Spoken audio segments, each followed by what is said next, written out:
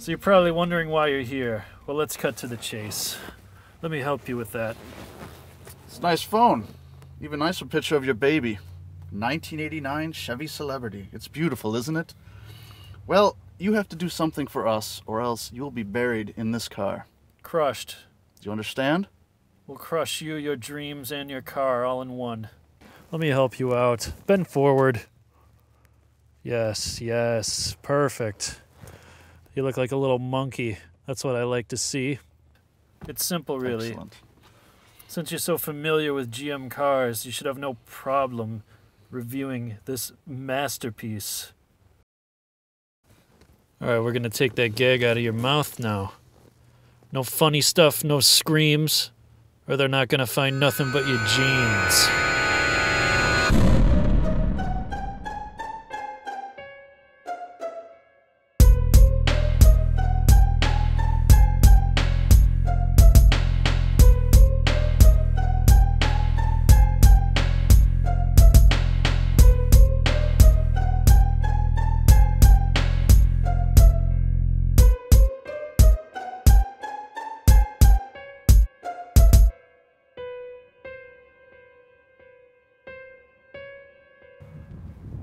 What is more masculine than this GMC Yukon? This thing looks like that guy in the back of the gym just pumping iron taking selfies. It is so muscular looking, it is so brutish that it's hard to kind of see it as anything other than just a monster. You have this big frontal area, big grille. You have HID headlights with LED accents. You have a 20 inch wheel tire combo on this model with 275 series tires, which are Continentals. Uh, the whole proportions of this car, this truck, are just big. There's no way around it, but that's that's what it's about. It's about hauling. It's about maximum cargo space. It's about towing. It's about throwing as much crap inside of this thing as possible. You know, and it's more of the same along the back uh, LED taillights, and even the remote for the car is big.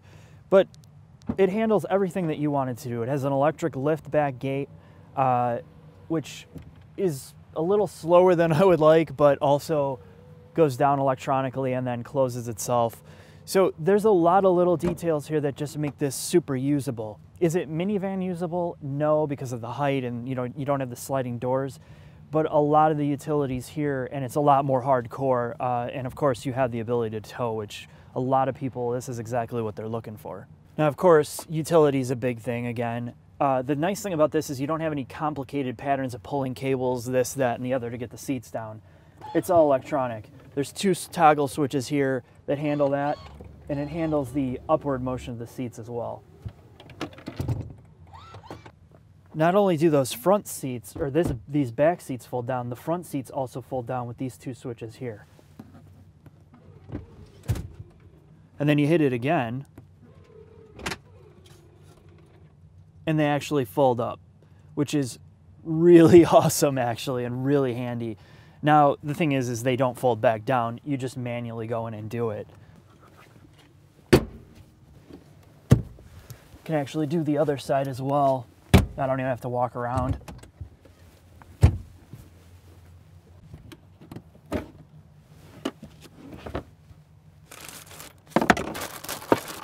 One of the oddest things about all the utility inside of this back, and I didn't notice it during regular use, but when I started to use this at night, there is no light back here, which is really weird because when the seats are up like this, you don't get a lot of the lighting from the LED interior. So this whole compartment is black most of the buyers for this car know exactly what they want. So they're not going to nitpick a lot of the things that I would talk about.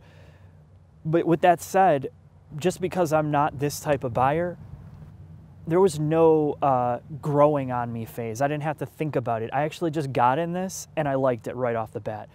Uh, it does everything and it checks all the boxes that you would expect from a vehicle like this with minimal fuss. Now, there is some accessibility issues because of its size. It is hard to get into it and out of it, depending on your height and stature.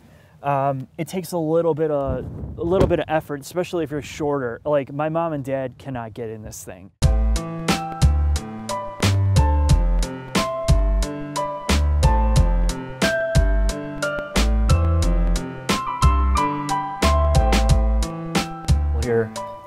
Transfer case, but right next to the transfer case, GM has decided that they are going to add all the sound system accessories right here, and it's designated by this musical note, as you can see. We're under the 2015 GMC Yukon. And when you get underneath this car or truck, uh, there's just not a whole lot to really look at. I mean, there's a lot of little things going on. The whole front suspension members are all aluminum. There's again plastic sway bar end links, huge front anti-roll bar. Uh, there, actually, there's a lot of aluminum in the front. Uh, and as you go back, you can kind of see uh, there's a little trace of aluminum here and there. Uh, big, big rear uh, drive shaft. How big is that sway bar? Nowhere near that. 36 millimeters. 36 millimeter front anti-roll bar. That's huge. Then why not just get a minivan? Because minivans are lame. this can tow. Yeah, but nobody if nobody uses it to tow, what's the point? Because I don't know. I mean, this is. I mean, they put a. There's a lot of work in this thing, so you could tow shit. So why would I mean? I don't see the point of owning this thing unless you're towing. Why do people buy a Land Rover to drive around in the street with? Because it's a Land Rover.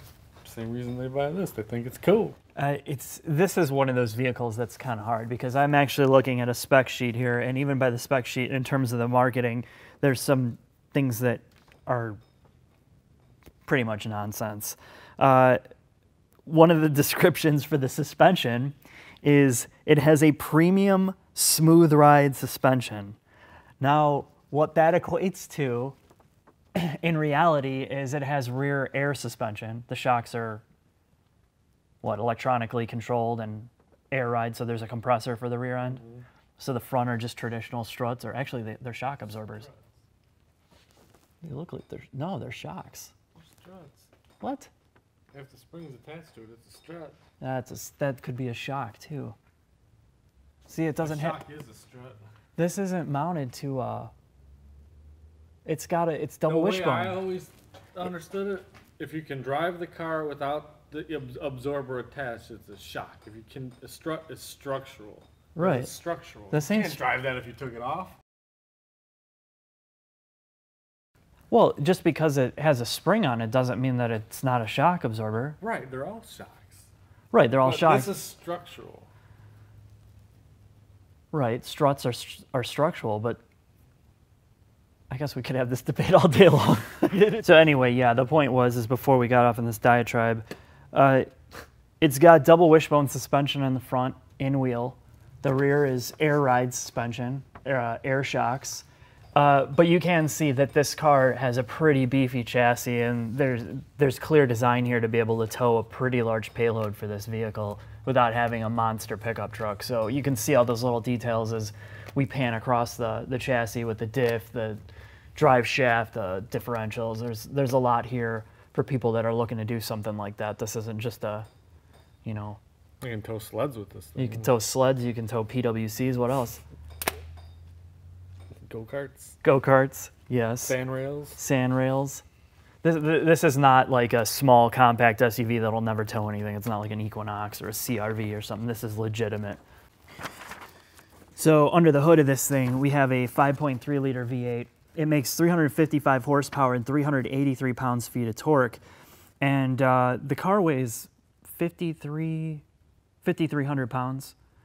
And uh, it doesn't feel that heavy at all when you're driving it. I mean, this motor really pulls.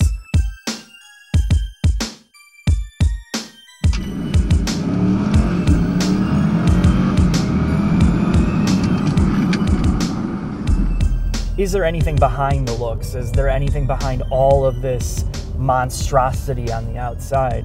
And it's not until you get on the interior that all of this starts to make sense.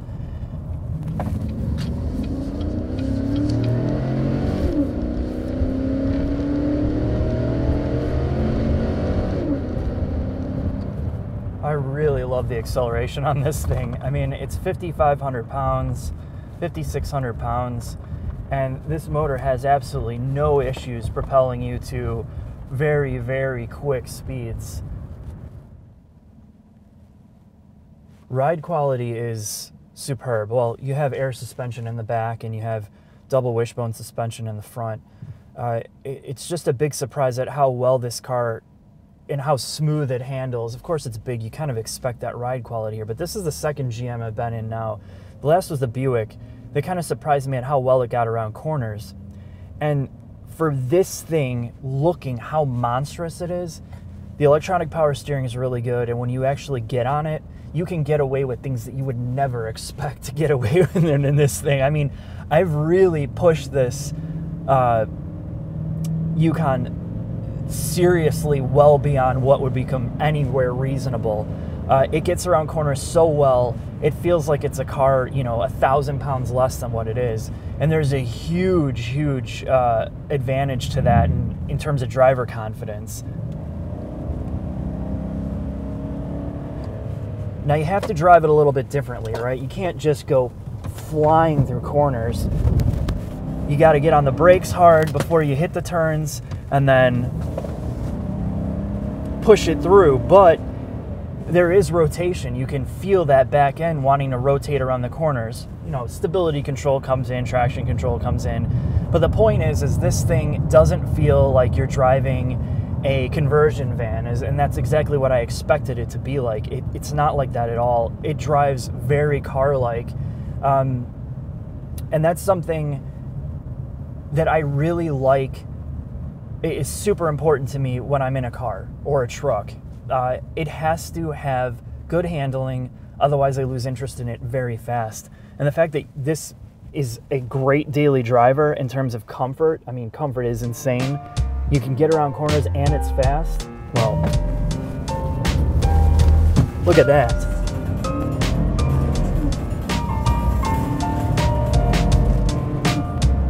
You can get this thing to rotate.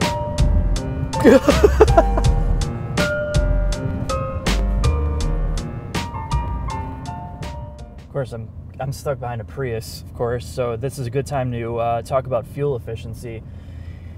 This motor has direct injection and cylinder deactivation. Now, what that means is obviously you have uh, direct injection, which, fi- which fires uh, fuel directly into the cylinders versus port injection. Uh, and the cylinder deactivation between those two are supposed to net you uh, significantly better fuel economy. So right now I'm cruising, and you can tell it's in four-cylinder mode because of the digital display it says V4 uh, as it's shutting down for the cylinders. Uh, so between that and direct injection, you're going to see better fuel economy. In terms of drivability, when you're in four-cylinder mode, there's no doubt there's a little bit of surging, a little bit of hesitation that I feel. Uh, that switch over between V8 and four cylinder mode, like here, we'll, it's almost it's going to be seamless to 95% of the owners. I can tell what it's doing because I'm thinking about it. But if I'm just driving along, uh, there's a huge part of driving that I don't even notice that it's happening. The other thing I really like about this car is the turning circle. Uh, you would think that this thing would be impossible to get around, and well, yes, it's not exactly, not exactly. It's not a city car by any means you can actually get around really well. Uh, the turning radius is superb. And with all the assists, which, okay, uh, I think are really warranted on here with the, the uh, actual blind spot monitoring, it makes whipping in and out of traffic, even with its size, it makes it a breeze. I never really have to worry about if there's something alongside of me because the systems work so well. Uh, now, the lane departure warning system is really annoying uh, on this car because of the width of it. And like I'm on in rural areas where the roads are really tight, the lines are very confined. There's a very small, like right here, there's a small amount of room where you can actually veer left or right without these seats constantly vibrating. Now, luckily, you can defeat that system by turning it off, but uh, some of the assists on this car compared to the Buick are a little wonky. Um, there's a way that it'll actually tell you uh, when you're getting too close to the car in front of you and it will flash this LED light in front of you. It doesn't seem to be an active system. It just kind of warns you, hey, you're getting too close, idiot. You know, on normal pavement, this thing is smooth as butter. I can't imagine a better riding large car than this in a lot of respects. Yes, it still has that truck like jarring suspension feel when you're over really rough stuff, but in terms of a road car, it just works. It works really well. Over pa- broken pavement or railroad tracks, nothing.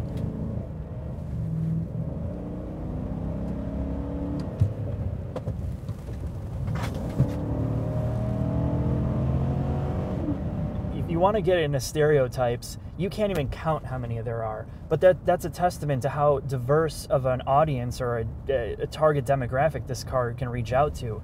Yes, it's got the the rapper, the football player, the Secret Service stigma, the drug cartel stigma, the uh, DEA. I mean, government agencies. Everybody uses this thing for different purposes, and and that there's a reason for it. It just works. It just works really well for what it is.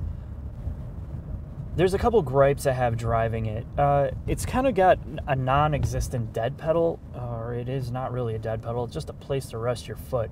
I find that with my size shoe and my positioning, I have a really hard time transitioning from gas to brake in a quick method. Uh, the brake pedal is adjustable, but it goes really high, really high, and I'm at the lowest position. And for me to jump from gas to brake, it's still too high. I, I find myself not hitting the brake on the corner of it uh, very accurately, and sometimes I miss, which actually uh, hurts a lot of confidence I have in if I need a, a quick braking maneuver. This is really choppy pavement back here. I kind of do this on my test loop to kind of see how uh, vehicles handle over chop while still maintaining grip.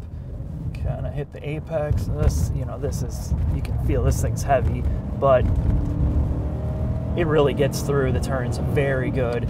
Brakes are really strong, really strong. But again, you have to drive it differently. You have to get your braking done right away. There's no, you know, you can't just push it through the turns uh, and expect to get around them. You got to get your braking done and then smoothly transition through the corners.